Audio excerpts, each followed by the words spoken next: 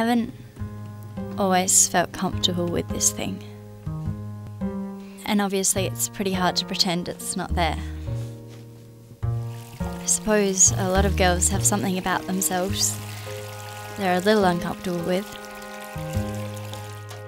Something they don't really have any control over. And it's not all bad, you know? For instance, I can go to music festivals all summer and party all day and night without worrying about topping up with water.